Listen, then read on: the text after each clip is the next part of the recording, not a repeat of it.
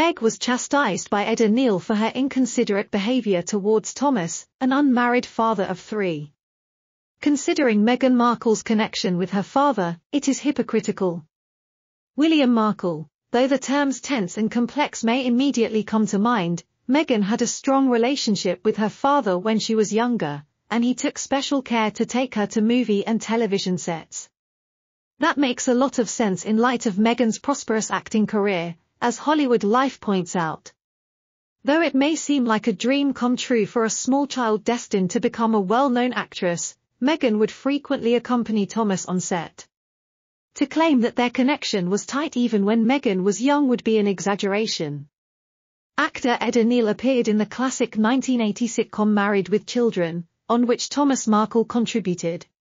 Ed O'Neill has no memory of the past, during her interview on Ellen Neal on Monday, Meghan Markle played a game of Who's This where he had to identify pictures of celebrities and the Duchess of Sussex, among other people.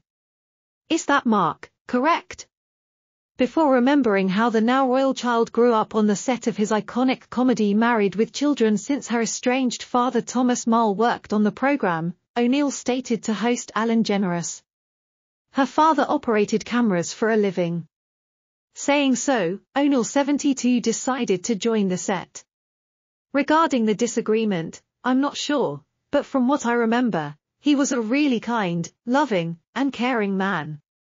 It's obvious that he works too hard to make money, so he gradually runs out of time for Meghan, who eventually went on to become an actress and is now married to a British prince.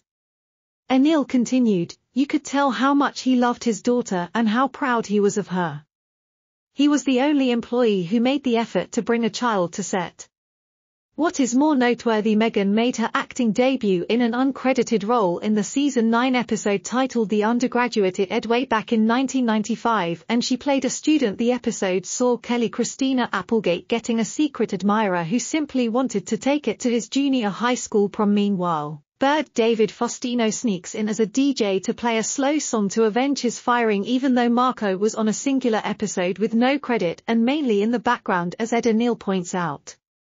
She spent a significant amount of time around the set thanks to her father's role in the production although later in life she always took feminism as a guiding principle. She never mentioned a first role in Marriage with Children which made fans confused because this is a rare film that clearly demonstrates the key role of female directors and shows that their intellectual strength isn't inferior to other male directors in the film industry. For the first two seasons of Married with Children the Majority of episodes were directed by a woman Linda Day draws comparisons between that and shows like Friends and Seinfeld, where women direct none of the seasons.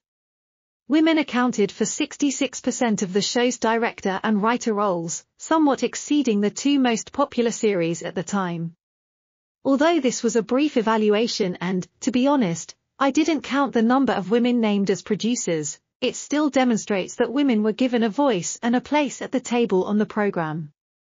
Meg was still alive in the 1950s, and Markle grew up on the set since her dad got to take her there the two times Emmy was awarded, but she has never once spoken this as something that inspired or was good.